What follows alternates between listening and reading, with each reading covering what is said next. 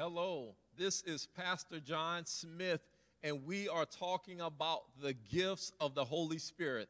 I have a very, very special guest here on this broadcast. I would like to introduce you to my beautiful wife, Pastor Elizabeth Garcia Smith. Amen. Hello, House of Prayer family.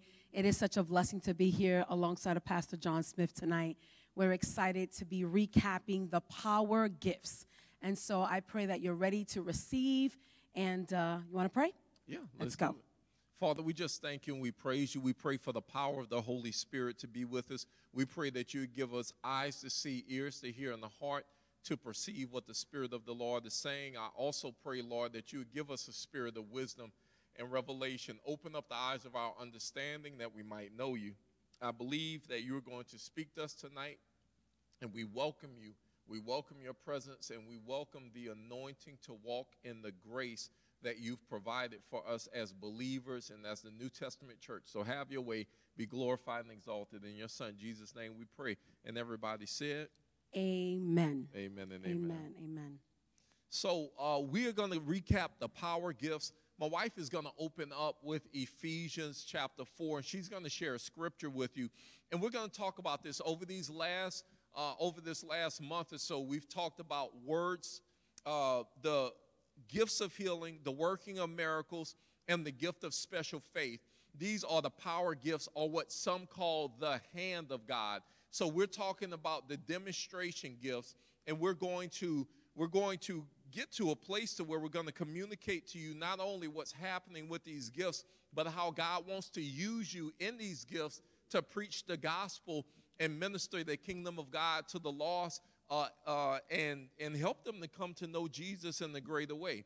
So, babe, you want to open up with the Ephesians 4? Sure, absolutely. You know, as we were discussing this and looking at these power gifts and just uh, just reading these definitions, and I was just, we were just planning uh, what we were going to say tonight and teach tonight, I just really thought about the scripture, uh, Ephesians 4:11, and I think that it's very important and critical to the body of Christ. In the book of Ephesians, Paul is addressing this church, the Ephesian church, and in the chapter 4, the subtitle talks about the unity and the maturity in the body of Christ. And so I'm going to read it and then I'm just going to talk about a little bit that really stood out to me. So Ephesians chapter 4, verse 11 reads So Christ himself gave the apostles, the prophets, the evangelists, the pastors, and teachers to equip his people for works of service, so that the body of Christ may be built up until we all reach unity in the faith and in the knowledge of the Son of God and become mature,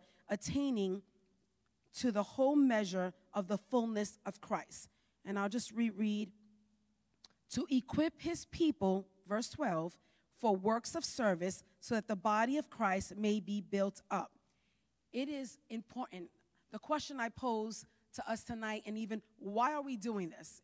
Just putting it out there. Why are we teaching? Why are we, as pastors, taking the time mm-hmm. to teach and equip the body of Christ? Because it's mandated from Scripture.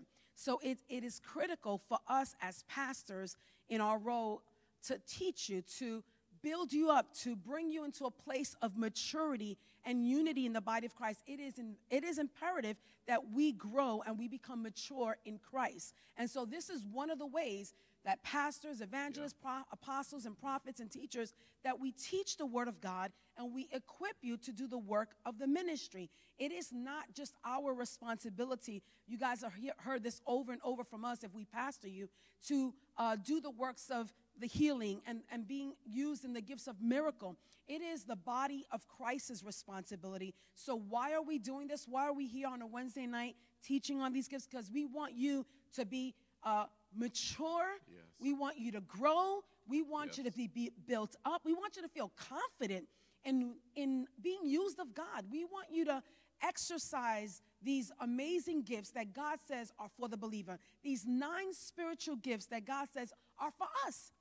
It is so important that you just don't become a believer that is stagnant and stuck right. and, and don't use what God wants to do in your life and use you to bring those into the kingdom to encourage the body. So he Paul is literally literally just giving instruction of the importance of the pastors and the fivefold ministry to equip. So this is why we're here.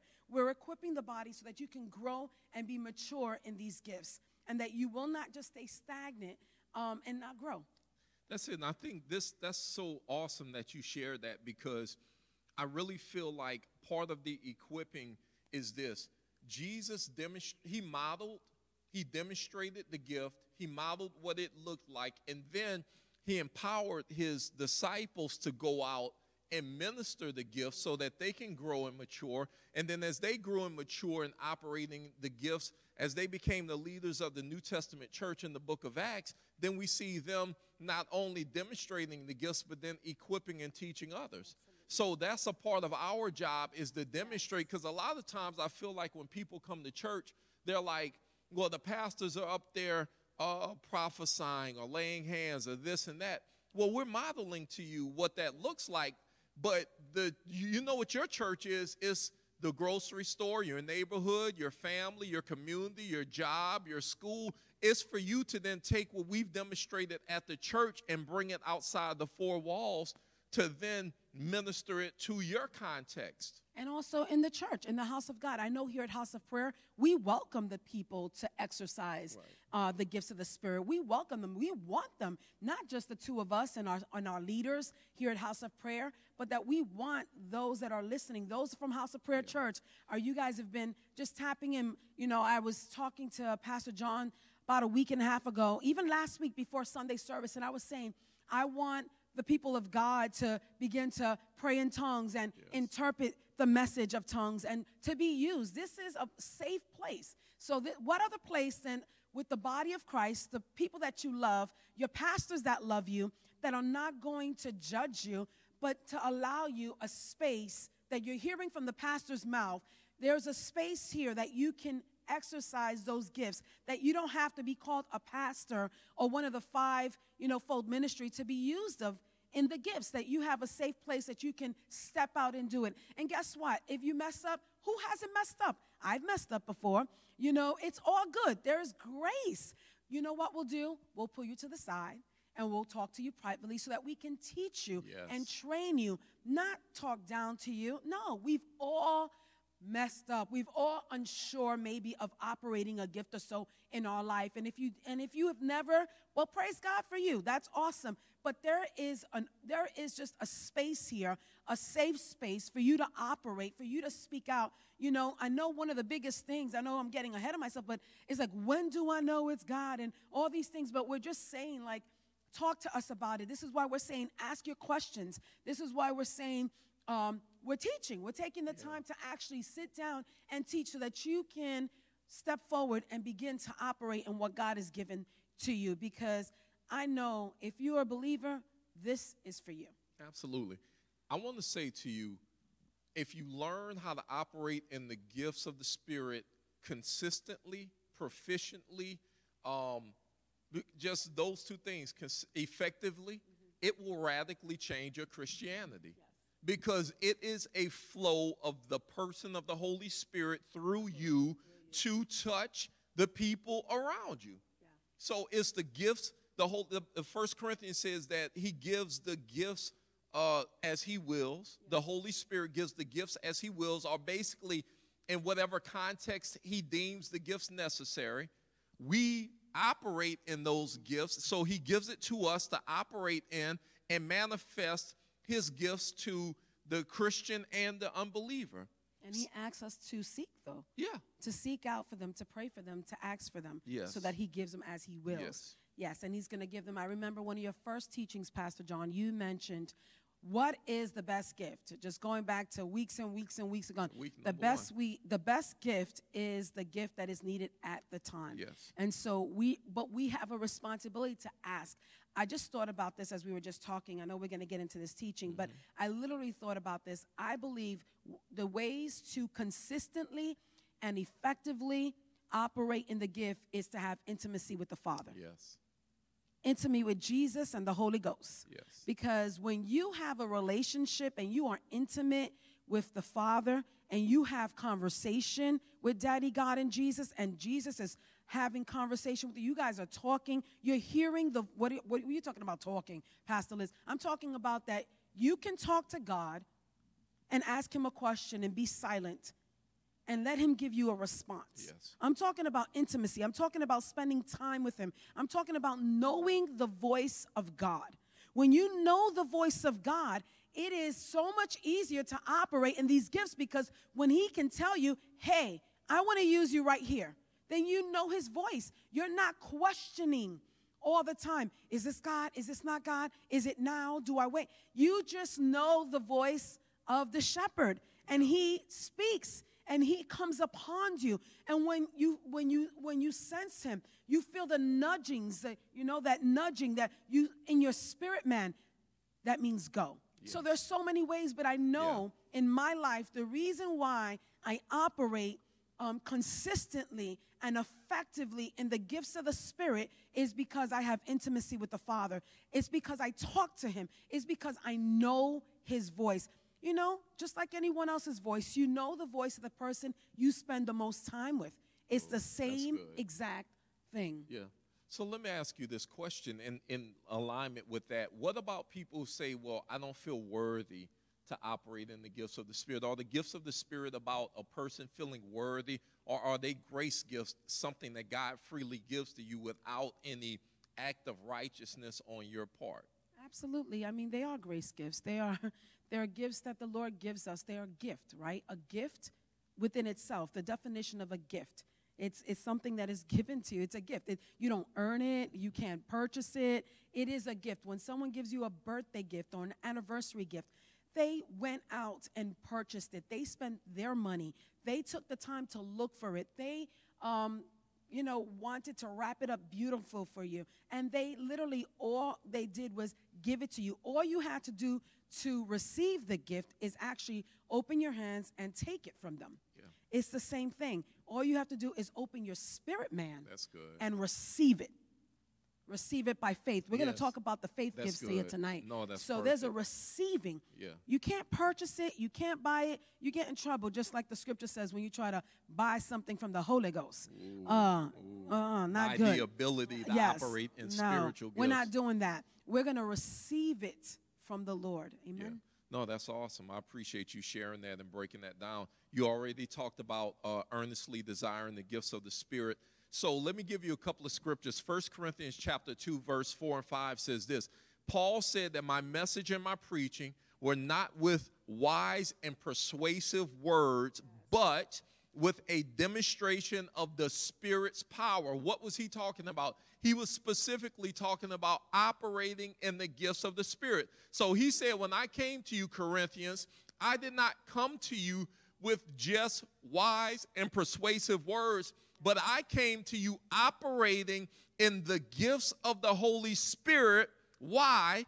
He tells us why in verse 5 so that your faith might not rest on human wisdom, but on God's power. So, why is it important for us to operate in the gifts of the Spirit? So that people's faith might rest on the power of God, because the power of God is a manifestation of the reality that He exists. So, when we talk about winning the lost, we need them to know that God is real, because if they know God is real, then they have a basis to believe on Him.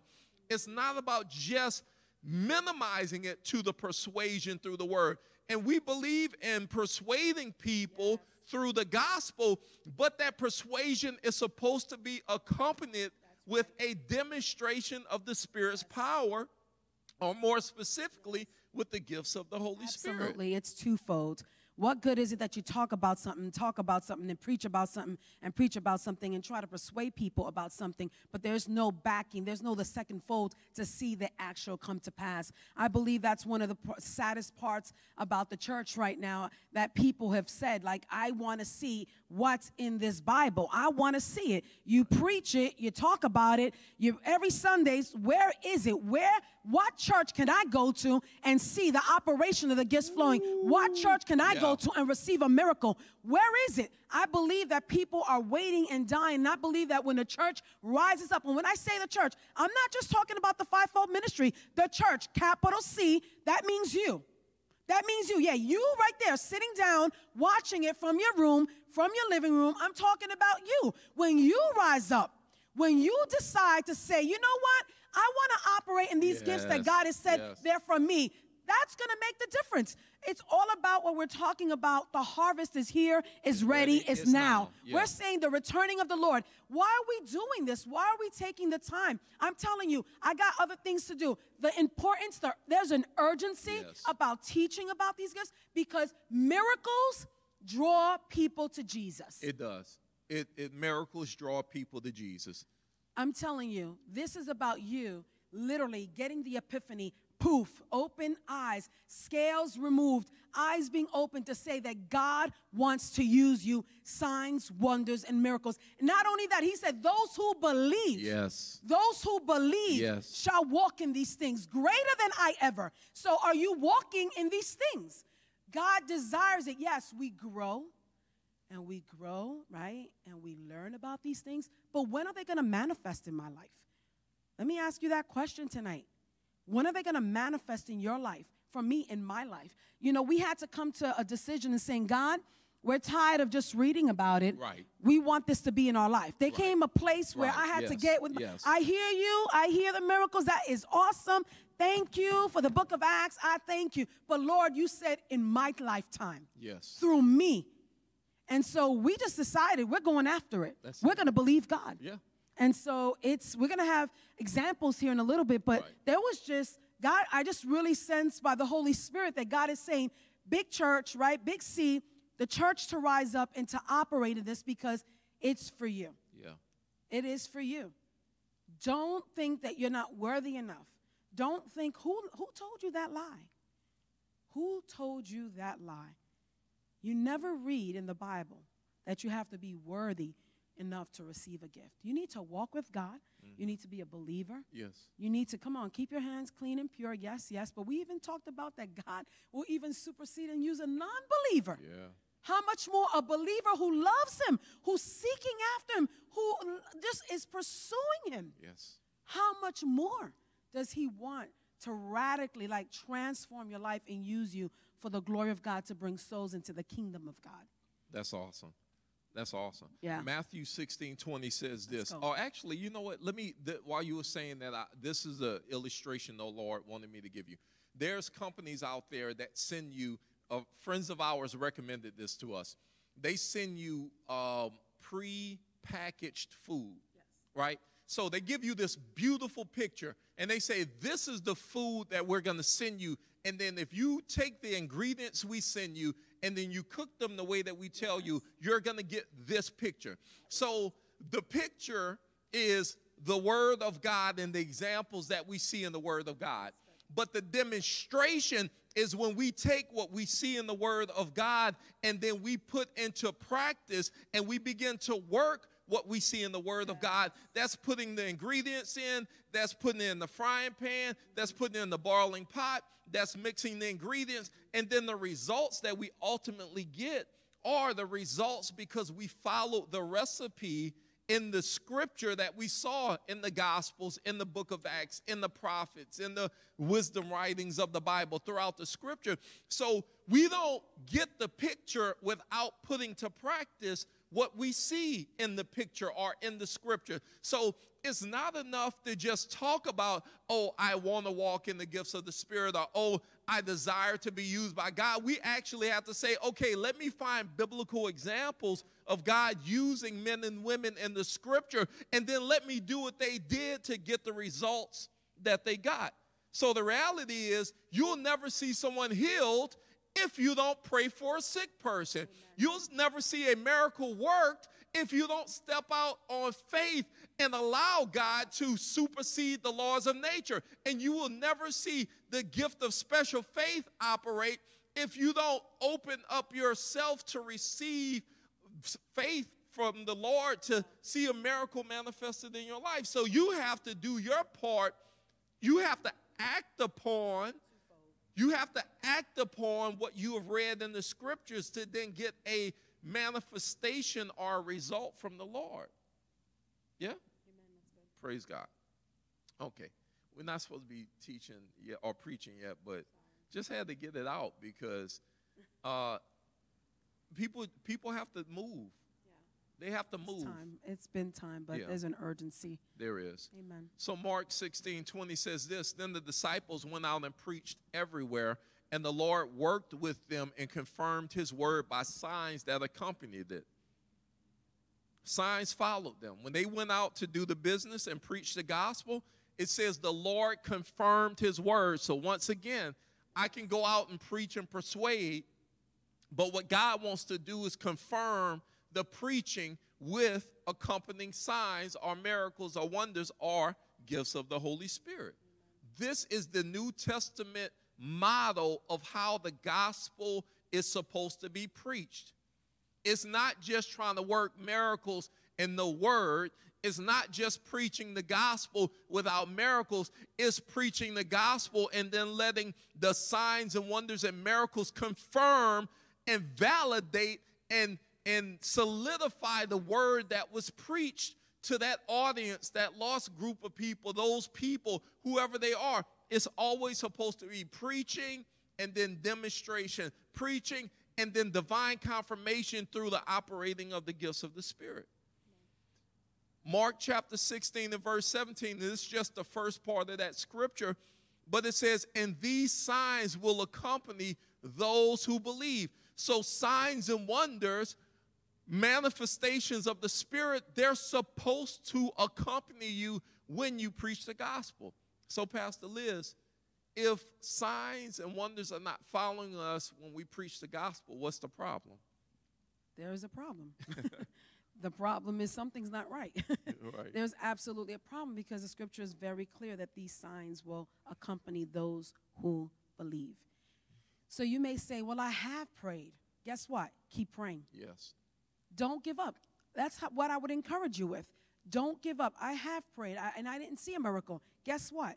Keep on praying. I know a man of God that he talked about um, so many times he prayed and he prayed and he prayed and he kept on praying for the sick and he just he was just over and I'm talking about a big ministry um, that he he has right now and um, just listening to his story.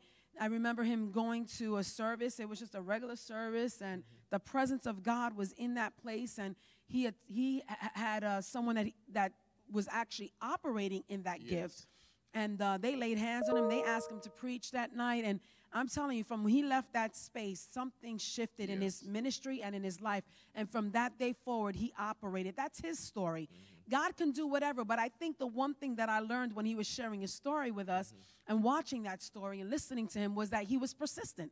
He was persistent. He did not quit. After the first time, the hundred times, he was so persistent and was not, was relentless. Yeah. He was so relentless about praying for the sick and just saying, God, this is what you said. They shall follow those who believe. So it needs to come to a place where it's manifesting. That's what I believe. I mean, it's great. Continue to preach the gospel. There's nothing wrong with that. You're giving, you're, you know, you're, you're, you're planting seed. God is going to give the increase. Continue to believe God for the healings, for the miracles, all those things that we're talking about, these power gifts and the gifts of the Spirit. But do not quit. I think that's the thing that I would Yes, advise and yes, encourage yes. tonight and just admonish you. Just because you didn't see it the first time, the hundredth time, maybe the thousandth time. I don't know if you prayed for a thousand people. I don't know, but you don't stop. Yeah. That's the key. Sometimes God just wants to check how, how much you really are going to believe Him Yeah, for it. Maybe He's working something in us. That's good. Maybe He wants to teach us something through the process of Yes. continuous faith and believing. Maybe He's building our faith in the process. Mm. So I would just say, don't give up. And I would say, don't be satisfied if you don't see the signs. Mm. Don't settle for it just to preach the gospel. Preach the gospel. Wow. Come on, but don't be satisfied with not seeing the demonstration. I think that's the key. Let me read this to you. This is one of the scriptures, and you quoted it uh, earlier, but it's 1 Corinthians chapter 14, verse 1.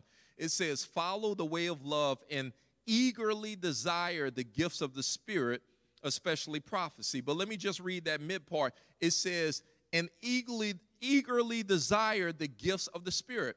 The Bible does not give us permission to stop praying. It didn't say follow the way of love and and and eagerly desire the gifts of the Spirit a hundred times, but if you don't reach it by a hundred, then you stop and you give up. It doesn't give a cutoff point of when to stop. It says eagerly desire the gifts of the Spirit. So you keep desiring them, you keep asking, you keep praying, you keep fasting until you see manifestation. So I would even say it is a sin for us to stop seeking if we've not seen manifestation because he's not giving you the okay to stop seeking. He said, earnestly desire. Basically, you keep going until you get or you see the manifestation.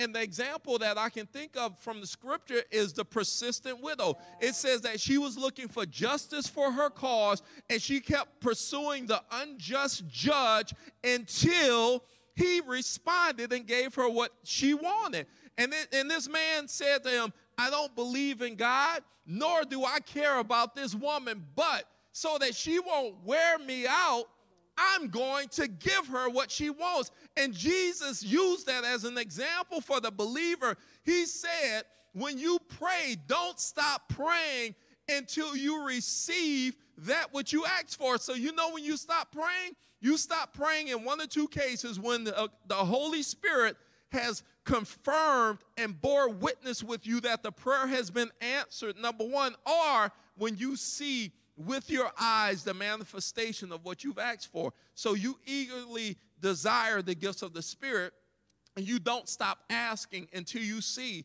healings, miracles, and the gift of faith operating in your life. Until then, you keep praying, you keep seeking, you keep fasting, you keep moving.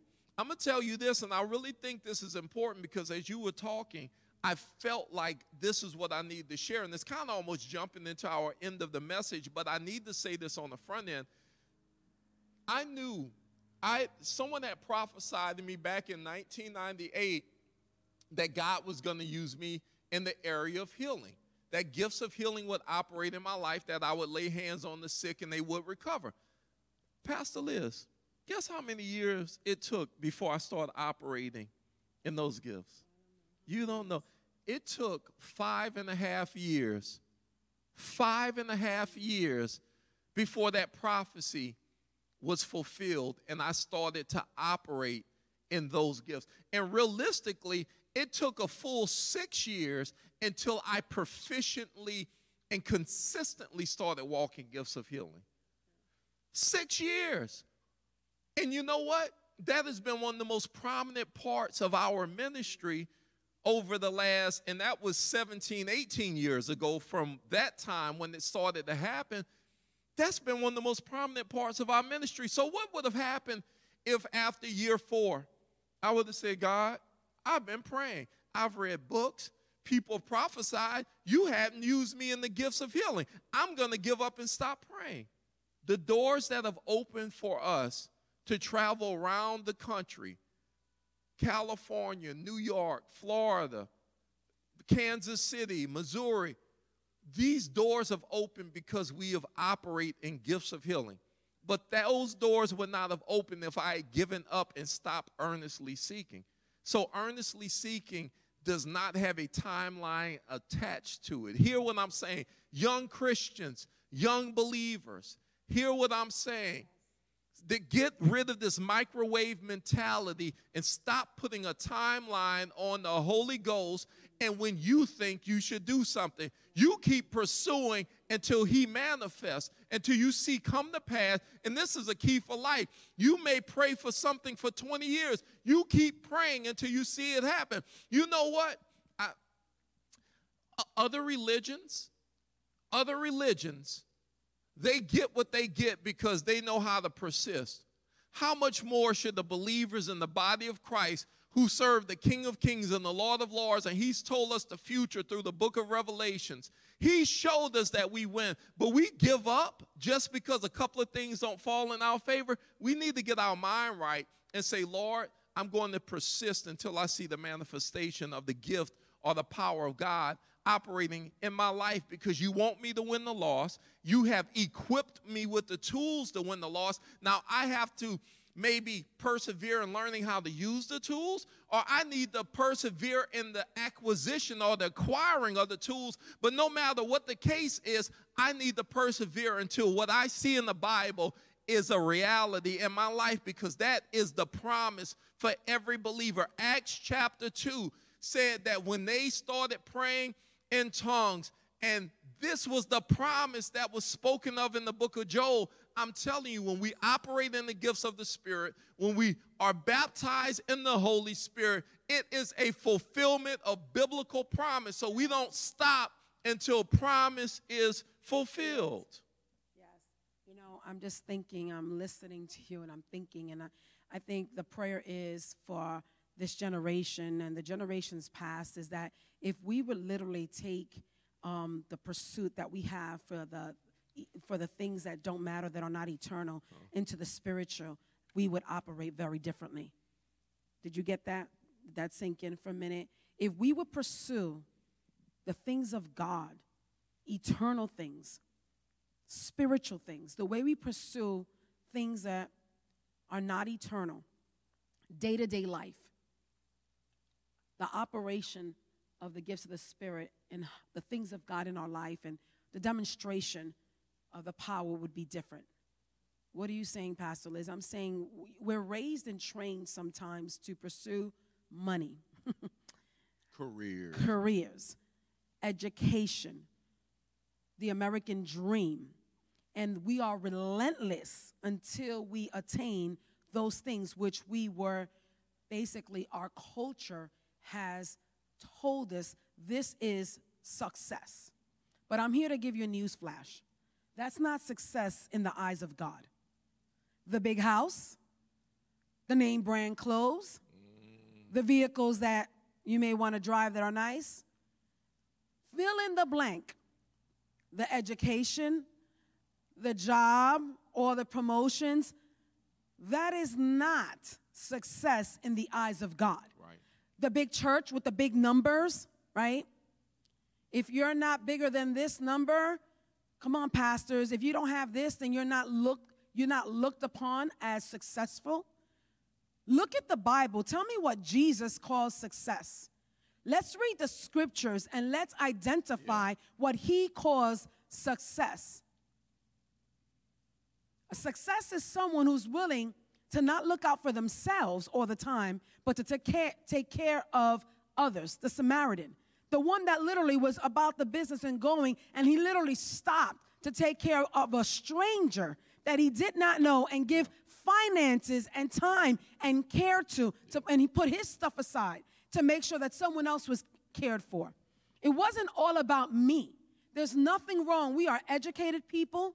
We believe in education. We tell our youngins to go after it, to get it. Come on. But that education coupled, come on, with the fire, knowledge on fire, yeah. that is what's going to count. It's not one or the other. Right.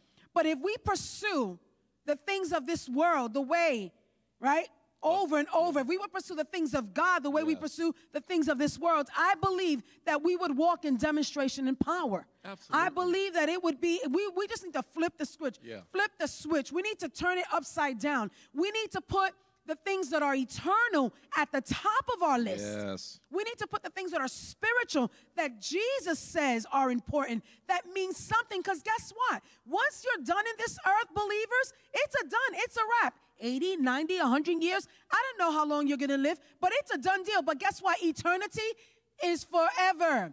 It will never. So, what you're doing now is going to matter back then.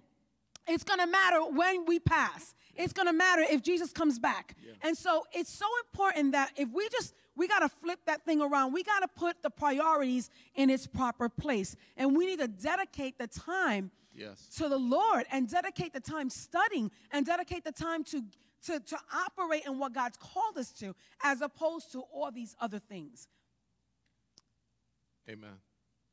It's important. Amen. It's important. And hear my heart. I'm not saying what's wrong with a nice home. There's nothing absolutely wrong with a nice home. But if that's all you're living yes. for, that's that's what I'm talking about. If all you're living for, if all your pursuit are for those things and you put aside the things of God and they're not as important or in more important than the pursuit of things and stuff, then we got we got we got to get a gut check. We got to check ourselves. We have to get aware of yeah. where we are because yeah. God wants to use you for the kingdom and he has tremendous plans. I promise you, I say this, he didn't create you just to gather stuff on this earth. Hear what I'm saying. He didn't create you to gather items on this earth.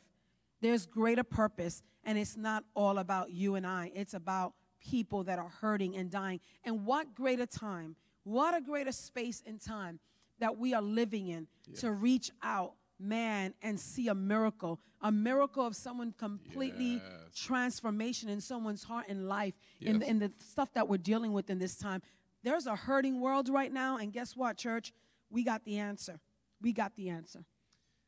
You know, I, I education is important. Education is not God, and education is not eternal. We, we say, you know, once you have a degree, no one can take that from you. Yeah, that's true. But if we would teach our kids from the time they are babies, you're going to be a man of God. You're going to be a woman of God. You are going to walk in the power of God. You're going to transform the world. If we sowed those seeds in our kids from kids to teenagers to adults, Amen. the world would be radically changed. Here, and we walk it out. But here's the reality. And listen, I'm not hating. My wife, both of us, between the two of us, we have 10 degrees. She has a earned doctorate. I have an earned master's degree, and I'm going to get my doctorate. We believe in education. But hear what I'm saying education is not the answer. The Spirit of God, the Word of God, the gifts of the Spirit, they are the answer. That's the answer. If we would begin to teach our children and raise up a generation of men and women of God who know their God, the Bible says they would do great exploits. How many of you young adults, you got a degree and you got student debt and you can't get a job in the field that you went to school for?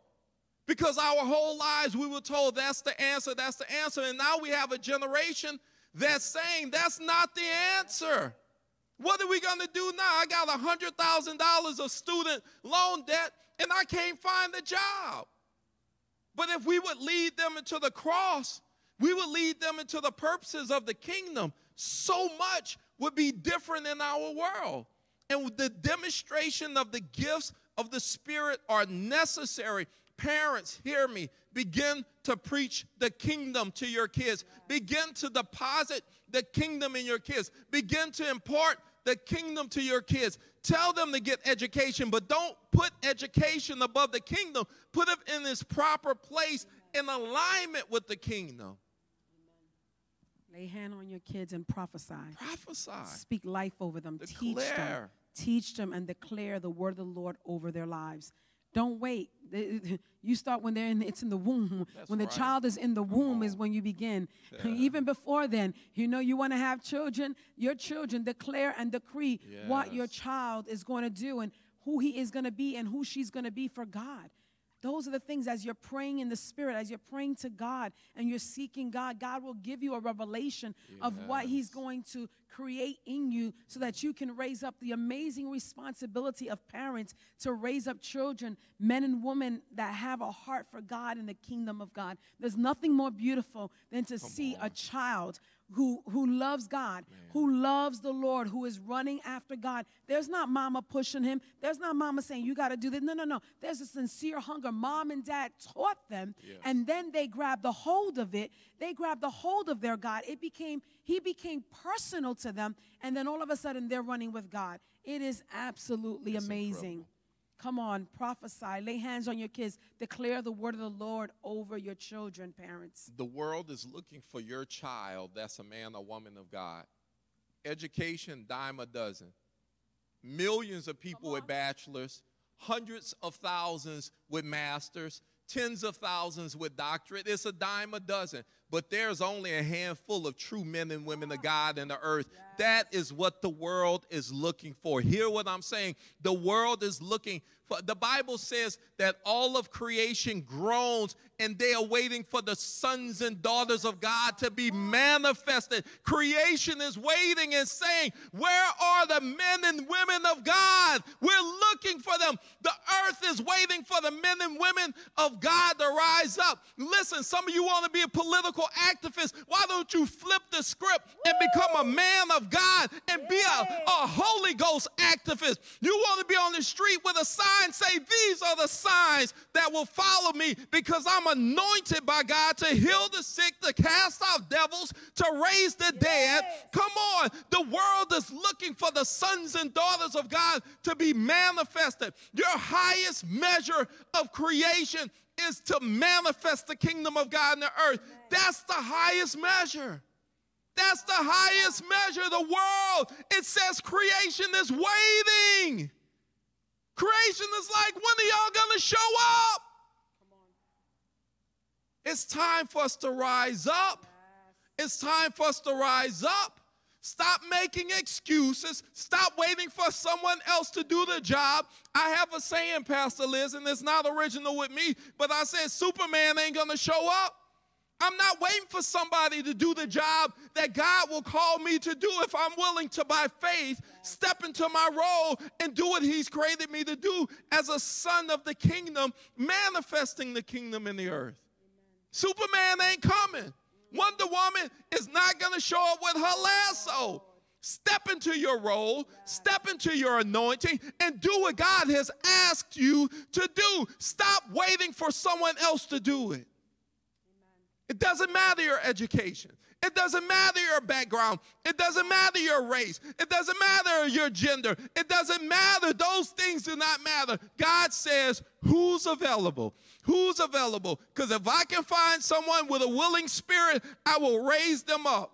Yes, yes. Poor, ignorant, uneducated, I will raise them up and I will use them as a sign and a wonder in the earth to let people know that I'm real. When are the sons and daughters of God? When are you going to manifest? Creation is groaning, waiting, restless. He's waiting. It's on us, it's not on God. Allow God to use you. This is the hour, this is the time. We just decree and declare. We just right now, we just in the name yes, of Jesus, we just Jesus. those that are watching, this is your hour. This is the greatest hour of the church like never before.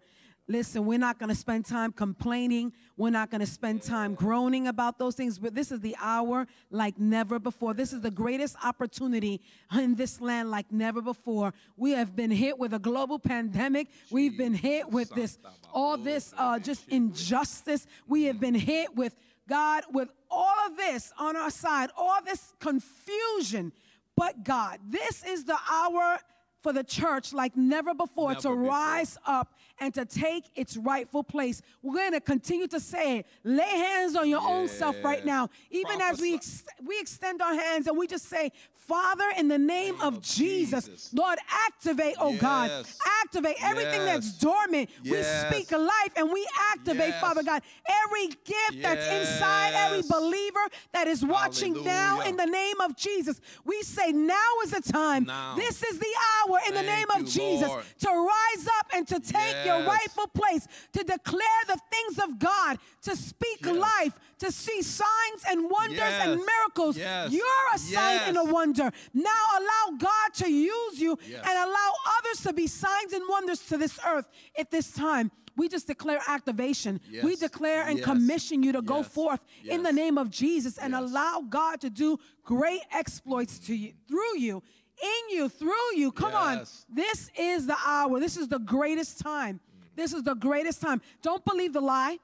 Don't believe the lie. Yes, uh, 2020, yeah, this is the worst year. Don't believe the lie. Come There's on. people getting saved. That's There's right. people getting free. Yes. There's people coming to the Lord. Yes. There's countries and masses that are coming to the Lord yes. because of the saints coming out and preaching the good news that God is able to heal. Signs and wonders are happening all over this world, including in the United States, including in in countries where we would not even think or imagine. We're getting the reports. This is the greatest hour for the church.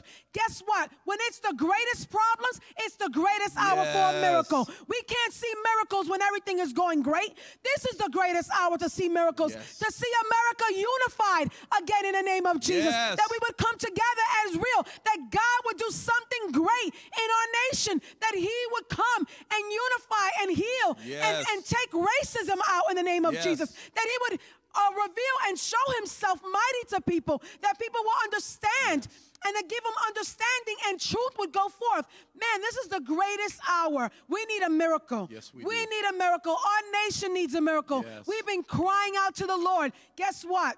You are a miracle for this time. You're the miracle. Yes, you are.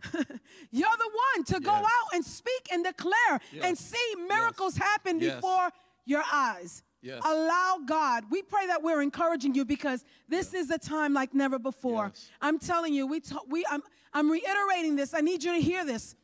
We're we're complaining. We're complaining, but I'm telling you, it's a setup for miracles. yes, it is. This time is a setup for miracles. God is able. God is able. Let us lay hands on the sick. Let us see them recover. Let's believe God Yeah. for signs, wonders, and miracles, not through just pastors and leaders and ministers, through yourself, a believer that comes to church Sunday after Sunday, that loves God, that reads your Bible, you're faithful, you're committed to God, you want to be used by God. Step out. Step out. Step out of your box. Step out. Fear, we bind it in the it in name the of name of Jesus. Jesus. We bind fear in the name of yes, Jesus. Yes. And we release faith. In Jesus' name. Authority that you would walk in the authority that God has said you can walk in. In the name of Jesus, we release identity, Yes. knowing who you are, Yes. that you would believe what you read and know it's for you, not just for everyone else. In Jesus' name. Hallelujah. 2 Timothy chapter 1 and verse 6. Paul said, For this reason I remind you. I like how the King James says, He said, to stir up the gift of God that's within you with the laying on of my hands. Paul said, I laid hands on you and imparted the gifts. He said, It's your responsibility to stir it up. Just like when you got a good pot of soup or a pot of chili or a pot of gumbo, before you eat it, if it's been sitting dormant on the stove, you stir it up so that you can get all of the seasonings and ingredients to come into conformity before you eat them. God says it's time to stir yourself up.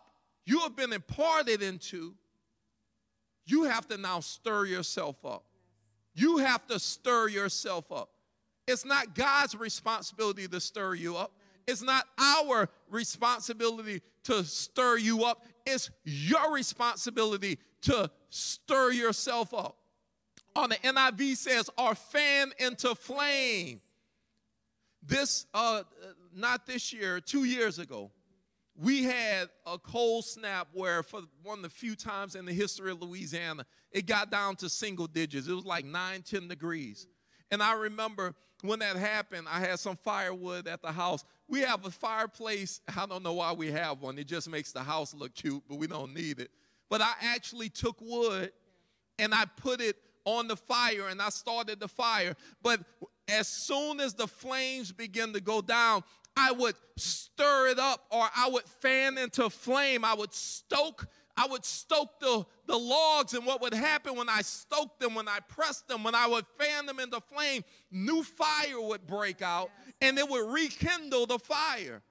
So it's our responsibility to stoke the fire, to fan in the flame, or to die- stir up the gift. And never let it die out. That's right. Never let it die out. That's right. That is a key to keeping a fire going. You got to keep on adding to, Yes. adding the kindle, Yes. adding the wood. Yes. You cannot let it go out. It goes out. You got to start all over again. No, no, no, no. Keep it stirring.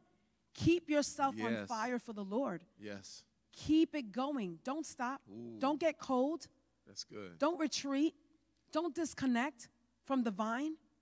Come on. Stay connected. Stay connected. Amen. You know what I've learned about uh, keeping a fire going or, or, or using a fireplace? It's easier to keep the fire burning than it is to restart a new fire. Because literally, to keep the fire burning, all you have to do is just keep throwing wood on it. But to restart the fire, you have to remove all the ashes, you have to clean it out, you have to get some kindling, you have to find something to light it. You have to hope that the kindling is enough that it catch the logs on fire. Then you have to stoke it and, and toss them and get. It's so much more work than just throwing wood on the fire. You don't have to do just keep. Look, I just gotta keep wood on the fire. Amen. Keep the fire burning. Praise Jesus. So I'm going to give you quickly these uh, definitions of the gifts of the Spirit, and then we'll give some examples and we'll close out. That sound good? Sounds great. Awesome. So, the gifts of healing. The gifts of healing are manifested for the supernatural healing of the sick and disease without any natural source or means. So, excuse me, with that being said, I'm going to read that one more time and then I'm going to ask Pastor Liz a question about one of the first times God used you in the area of healing. So, the gifts of healing are defined as this they are, manifest, they are manifestations of supernatural healing of sickness and disease without any natural source or means. So, Pastor Liz, what was a time, one of the early memories that you had of God using you in gifts of healings? I was thinking about this as we were preparing, and um, one of the times was actually here in uh, House of Prayer Church. Back then, it was called Canal Street Assembly of God, and um, there we were coming out of a fast, I believe, and um, maybe, maybe not, I don't know. But anyway, I remember we had service, and God was moving, and we just felt a stirring. We felt a stirring just to pray for the sick. That's what the Bible says, right? Call the elders of the church, anoint them with oil, and then allow, you know, pray for the sick. And so we were literally, come on, following the instructions of the Word of God and believing God for healings to happen. And there was an elderly lady, and she was about 78 years old, and she had fallen and fractured her elbow, and she was on a sling. And so she came to church that Sunday with her elbow fractured. She went to the hospital, and that's what they said it was. And she was in so much pain. Yeah. She could not lift her hand. She would start wincing every time she lifted her hand uh, her arm, excuse me, to uh, to believe God. And I remember we I just saw her, and literally I was on the platform. I don't even know. It's coming back to me. There was no one at the altar at that time. We were just praying yeah. and believing, and the Spirit of God was moving. The worship was going, and the Lord said, "Go now." And He said, "Go now." I'm going now. I went to her seat, and she was I don't know. She was probably on the second or front row. I went to her seat, and I just laid hands on her, and I said, "In the name of Jesus, be healed." I'm telling you, that was it. It was a wrap. Let me tell you, sister girl, our, our, immediately. Our, immediately, our grandma, we love her to death. We just love this woman of God. She took off the sling.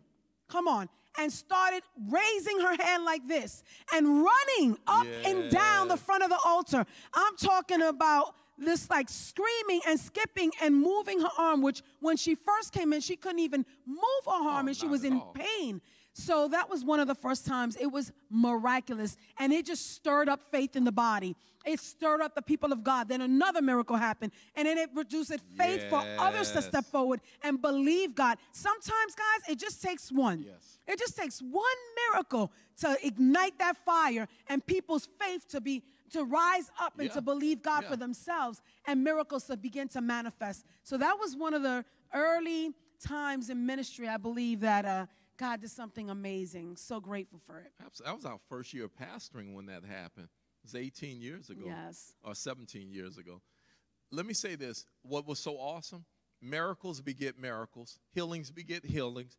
It literally, it, it was that one healing that people saw her in pain her literally she had like almost crying because she was in such severe pain but she was just one of those old faithful saints yes. that was going to come to church no matter what listen Oh man, I yeah. Look, Some of y'all got a, a, a, toenail. You clip the tip of your toenail and you out the out of church for three weeks. This woman was 78 years old and had a broke elbow, and she came to church. But because she had enough faith to come to church, God says, "Daughter, I'm going to heal you." She didn't even ask someone to pray for her. She just showed up. And once she got healed, then everybody, their faith arose and they were like, I want to get healed too. If God just healed grandma in front of us instantaneously, then I know God can heal me too. Amen. Amen. I'm telling you, faith arose yes. that day. It was glorious. It was. Get ready this Sunday. Hello. Do you hey. need a healing in your body? Do you need a healing of your heart, your mind, your soul, your spirit?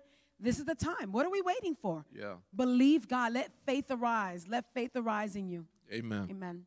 So, uh, the definition of the working of miracles a miracle or the gift of the working of miracles is a suspension of the usual laws of nature and the intervention of supernatural or divine power. So when we talk about the working of miracles, we're talking about God using a human agent and God will suspend the laws of nature and or he will uh, intervene supernaturally with his divine power.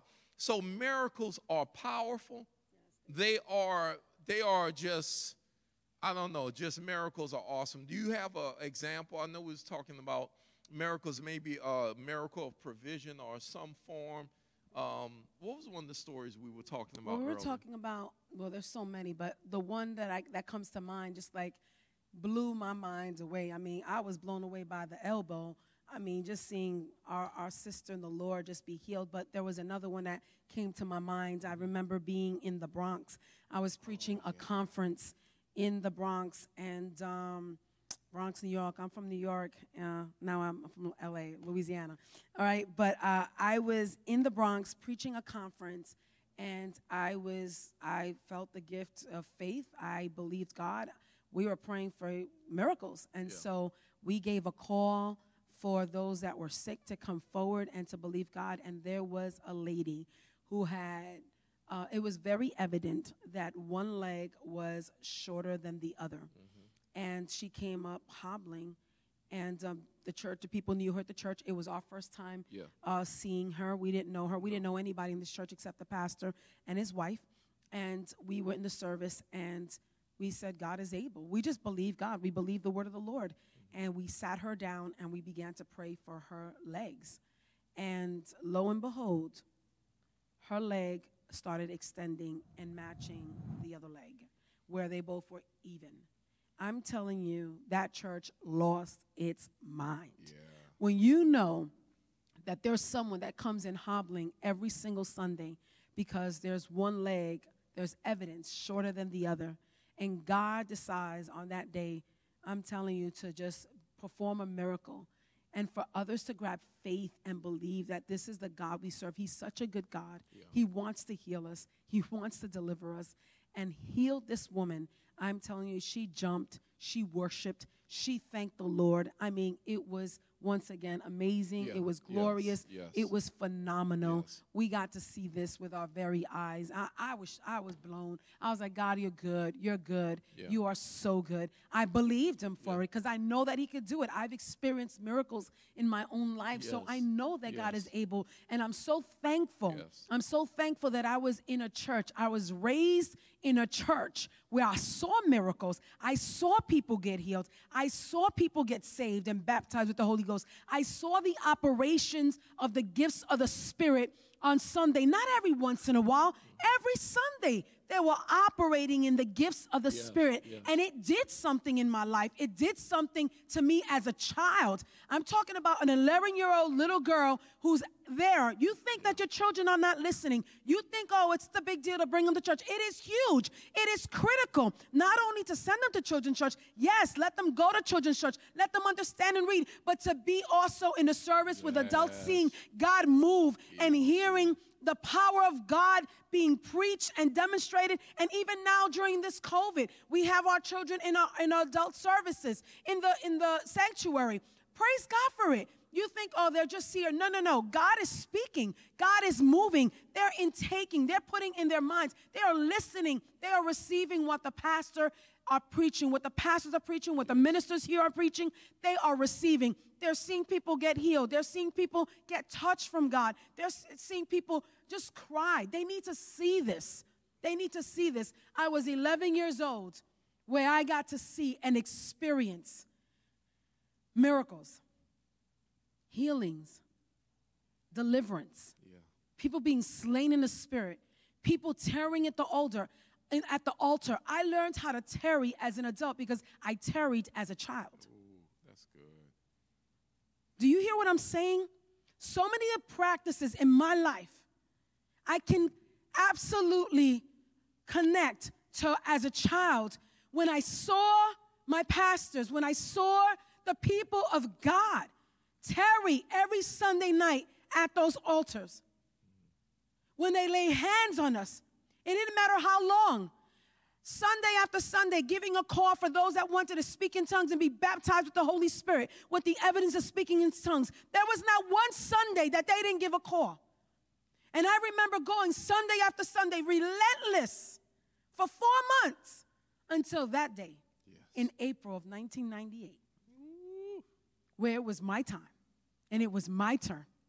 And I lifted my hands, and one of the deacons, come on, laid hands on me and prayed in the Holy Ghost. Yes. And he even spat on me a little bit. yeah. the Holy Ghost spilled. And I began to pray in tongues. And you know what they did? The fire of God was so, let me tell you, I was lit on fire. Yes. That they took me. They took me. I don't even think I ever shared this. They took me. My pastor was at the altar kneeling and praying in the spirit.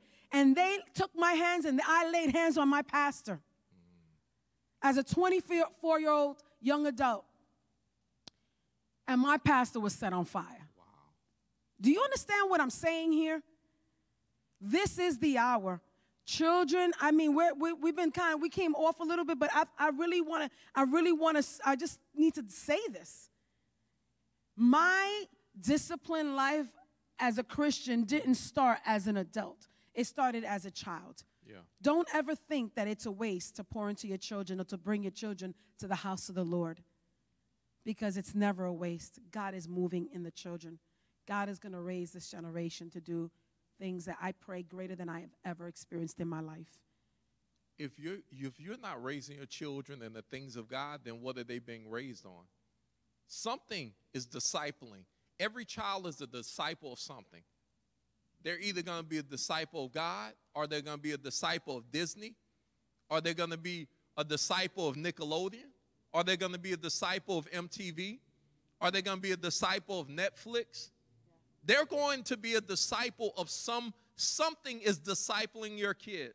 They're going to be a disciple of Instagram or Snapchat. Somebody is discipling your kid. Why not intention? The Bible says, raise a child up in the way they should go. That means that you, as the parent, you set the directive, you set the course that your kid is supposed to travel. You said it. You don't ask them, what does an eight year old know about the direction of their life? You, you say, this is the way you should go. This is the standard. This is the standard. And what will happen is when they are older, even if they reject the standard, when they are older, those seeds that you have sown will arise in their spirit and will come to fruition. You know how many times God has given me prophetic words for people who were raised in the church and backslid and turned away from Him and were running away from God. And I've come to them, I said, the Holy Ghost is showing me you were raised in the church. God showed you and taught you from the time you were a kid how to walk with Him, but you've rejected it. And all of a sudden they cry. Uh, how do you know I was raised in the church? Why? Because those seeds were planted, and now God is sending us to come and put water on the seeds. God is calling us to put water on the seed. It's time for us to, be this, to disciple our kids and raise them up and train them up in the way that they should go. And when they are old, this is a promise from God. They will not depart from it. Come on. Somebody is discipling our kids. Why not disciple them in the ways, the will, and the purposes of God? Praise Jesus. You know, I know parents that are watching. I know we've we've we've turned over a corner here, but I just want to stay in this vein. I know it's difficult. It's difficult to raise children. It's difficult to raise children. Um, sometimes in the things of God when culture is pulling at them in every other way, and when other uh, children at school um, that they're around, whatever, it, are not walking in the ways of the Lord. But I'm telling you, it is worth it. Yes. It is worth it. Yes. It is worth it. I pray the grace of the Lord upon you. Yes. to be consistent, to not to have just a tenacity, a no quit spirit, to be determined that you're going to raise up your child. It is your responsibility from the Lord as a believer. It, this gift, a blessing from the Lord, the children are a blessing from the Lord. It was a gift. These children are gifts to you from the Lord, and it is your responsibility. And God wants you to walk in what He has for, for you to raise in them. And so I just I just want to tell you, man, I want to encourage you to stick to your guns, to, to ask God for the grace. He's going to give you the grace and the strength and the word, wherewithal to just really push, even when the world is pushing the a complete opposite way. Don't give up. Don't give up. Be consistent. Be faithful and watch what God will do. Yeah. Watch what God will do. Yep. That's, yes. We cannot lose our generation to the world and to the devil we cannot lose our generation, our seed to the world and to the devil. It is our responsibility. Come on, parents. It's time for us to do what we got to do. Some of us need to put some food away, go on the fast, and start praying and fasting for our kids, crying out for their destinies. And if you have a good kid, even more so, you should be fasting and praying. We think it's just because we have rebellious bad kids. No, when we have good kids, God, I'm going to fast and pray so that my child stay on track all the days of their life. It's both. Amen. Praise God. Here's the final gift the gift of special faith or the gift of faith. The gift of special faith is a supernatural manifestation by the Holy Spirit supplying unlimited faith in a specific situation to achieve supernatural results. It is supplying unlimited faith in a specific situation to achieve supernatural results.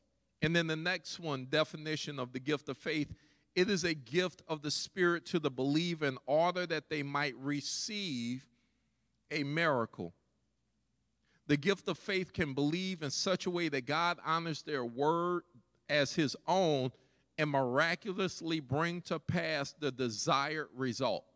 So, the working of miracle is we work to receive a miracle, we manifest a miracle. The gift of special faith is we believe to receive a miracle. So, finally, in closing, the gift of uh, of special faith. Can you think of an example, a story? Absolutely. Quickly, I was. I remember being um, in the house of the Lord, and I was on the platform, and I, I was maybe admonishing the people or something, but I literally sensed and felt the Spirit of God come upon me, and I felt the gift of faith be bestowed upon me. And at that moment, I felt like the Lord was saying to me, Speak this out and invite those who have this gift of faith even now. I feel like God just came in and just kind of blew in the congregation. And there was just a special gift of faith for the moment to believe God for miracles in whatever way. And I said to the congregation, if right now you have the gift, you feel and sense the gift of faith to pray for those that need a miracle, come up now. And there was a large, there was about seven to 10 people that came up. Yeah. And I just sensed it. I mean, I felt like I can pray for anything at that moment, and God was going to answer because it was tangibly bestowed upon me. I felt the Spirit of the Lord. It was different. You know, we talk about we all have a measure of faith. The Bible says that, but I literally felt the tangible presence of God and the gift of faith. My belief for that person that was in front of me to be healed was, I mean, completely to the, to the thousands. Like it was maybe on a normal, maybe it's a hundred, but it just escalated. Yes, it just went yes, to another level. Yes. That's how I knew it was a special gift of faith. And so we called up the people and those laid hands, and it was it was awesome.